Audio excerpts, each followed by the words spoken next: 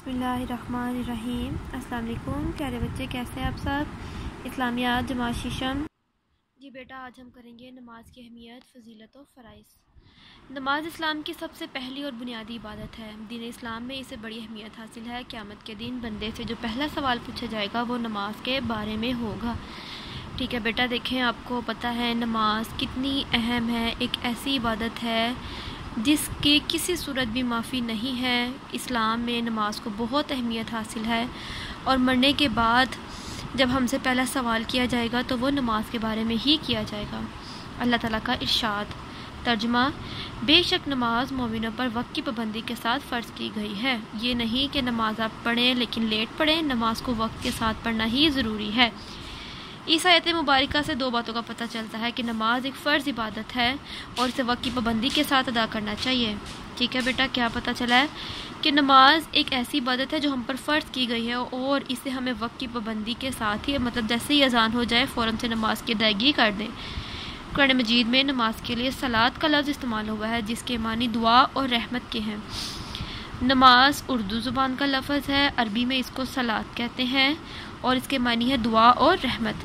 सलाद से मुराद, वो मखसूस इबादत है जो दिन रात में पाँच वक्त मुकर्रा अदाब और मखसूस तरीके के साथ अदा की जाती है, जो तस्बी दुआ क्याम रकू और सजदा वगैरह पर मुश्तमिल होती है। नमाज़ के ज़रिए इंसान अल्लाह ताला को अदब के साथ याद करता है, इसे दुआ माँगता है और इसका शुक्र अदा करता है।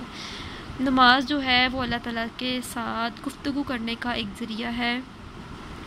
नमाज़ में हम क्याम, सजदा, रकू ये सब करते हैं, तस्बीहात करते हैं।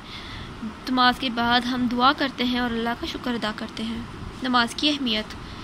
अल्लाह ताला ने कुरान मजीद में फ़रमाया है कि हमने इंसानों और जिनों को महज अपनी मदद के लिए पैदा नहीं किया इस आयत से मालूम होता है कि इंसान की पूरी ज़िंदगी इबादत है, बशर्ते कि वो अल्लाह के बताए हुए तरीके पर चले। इंसान को अल्लाह ताला ने अपनी इबादत के लिए पैदा किया है।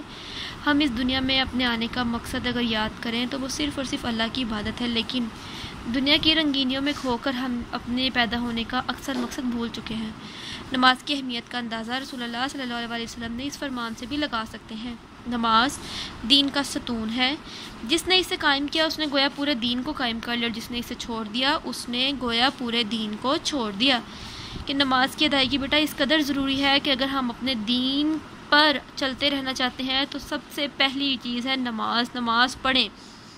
नमाज़ के बारे में सल्लल्लाहु अलैहि ने फरमाया, बेशक इस्लाम और शिरक कुफर के दरमियान फ़र्क करने वाली चीज़ नमाज़ है। देखिए बेटा, कितनी अच्छी बात है कि हम मुसलमान हैं या काफ़िर हैं, इस बात का अगर हम कोई फ़र्क चाहते हैं तो वो है नमाज़। नमाज़ मुसलमानों पर फ़र्ज़ है, इस्लाम ने फ़र्ज़ की है और कोई भी दीन इसको फ़र्ज़ नहीं करता और कोई भी इसको पढ़ने की तलकीन नहीं करता।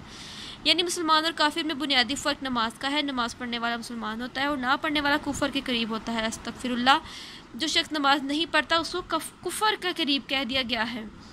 इसी तरह शाद खुदाबंदी है कि जब अहले जहन्नुम से पूछा जाएगा अहले जहन्नुम मतलब जहन्नुम में रहने वाले लोग कौन सी बात तुम्हें जहन्नुम में डाले जाने का बायस बनी? तो वो जवाब देंगे कि हम नमाज़ नहीं पढ़ते थे। दे देखें बेटा, नमाज़ ना पढ़ने की वजह से हम जहन्नुम में फेंक दिए जाएँगे।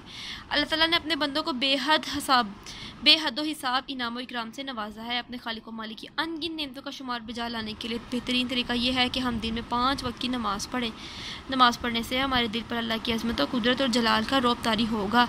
हम हर वक्त अच्छे काम करेंगे, बुरे कामों से हमेशा परहेज़ करेंगे। देखिए बेटा, अल्लाह ताला ने हमें कितनी सारी नियमतों से नवाजा है। हमारे पास इतने प्यार करने वाले माँ बाप बहन भाई हमारे रिश्तेदार तो क्या इतनी नेमत अल्लाह ने हमें नवाजा है तो क्या हमें नहीं चाहिए कि हम उसकी उसका शुक्र अदा करने के लिए एक नमाज़ पढ़ लें? दिन में हम पाँच वक्त चौबीस घंटों में से हम कुछ वक्त नहीं उसके लिए निकाल सकते नमाज़ पढ़ने के लिए। इसलिए बेटा, जो भी नमाज़ नहीं पढ़ता, उसे चाहिए कि नमाज़ की पाबंदी शुरू कर दे। अल्लाह ताला का इरशाद है, नमाज़ बेहयाई और बुरे कामों से रोकती है और अल्लाह की याद तो बहुत बड़ी चीज़ है। सुबहान अल्लाह, देखिए बेटा अगर हम बुरे कामों से बचना चाहते हैं, बेहयाई के कामों से बचना चाहते हैं तो हमें चाहिए नमाज़ पढ़ें।